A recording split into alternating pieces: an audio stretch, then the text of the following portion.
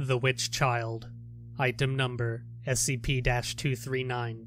Object Class Keter. Special Containment Procedures SCP 239 is to be kept within a one room cell furnished with one bed, one EKG machine, and one IV to be filled with pentobarbital mixed with data expunged, to be refilled daily. Under no circumstances is SCP 239 to be removed from her containment area at any given time. The walls of this cell are to be coated in a telekill lead alloy. Only Class 2 personnel are allowed any contact with SCP 239 at any time. All personnel guarding SCP 239's containment area are to be equipped with telekill headgear, SCP 148. Subject's proper name is Sigurrós Stefánsdóttir. Under absolutely no condition should the subject ever be awakened. Any personnel found attempting to awaken the subject will be immediately terminated.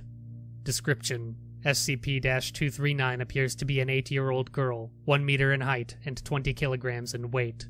Subject has shoulder length blonde hair. Upon closer inspection, the subject's eyes shimmer a gray green shade. Subject seems to emit a previously undiscovered form of radiation, which has been named blank. These waves seem to be harmless in low concentrations, but in higher concentrations they could break down matter on a subatomic level. SCP 239 seemingly has the ability to do whatever she expresses a will to do. Put simply, the subject can do anything that she truly wants to do on a basal psychological level, as long as she is conscious. Fortunately, she only seems to be able to affect herself and her immediate surroundings. Therefore, if she can see it, she can change it. It would not be the most prudent course of action, however, to try to test how powerful she can be.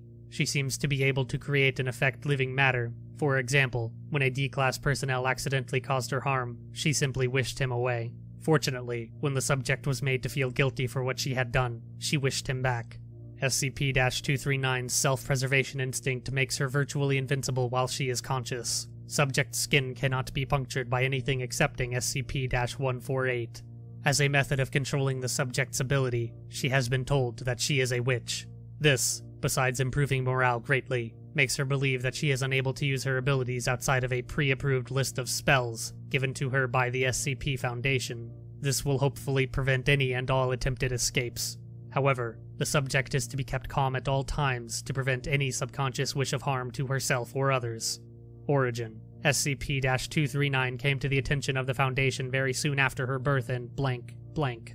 Approximately three hours after subject's birth, Blank Hospital was destroyed by an unexplained explosion. The press was informed that it was due to a gas leak.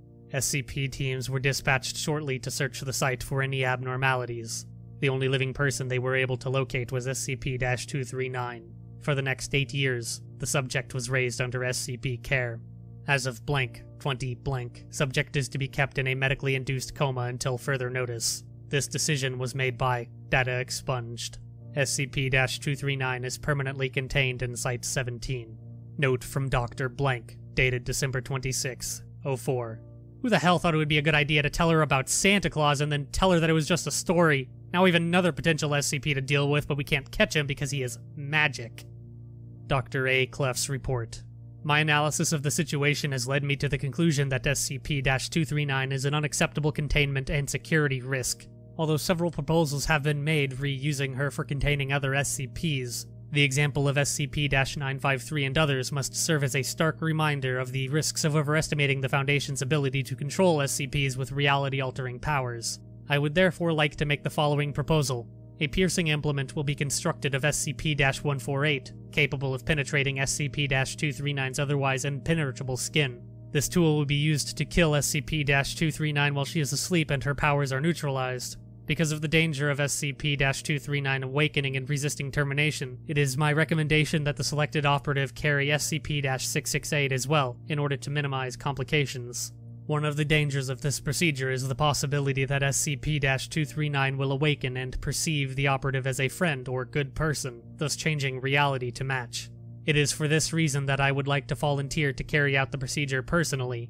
A review of my personnel file should indicate that my data expunged should allow me to carry out the operation even after a reality shift of this nature. Clef.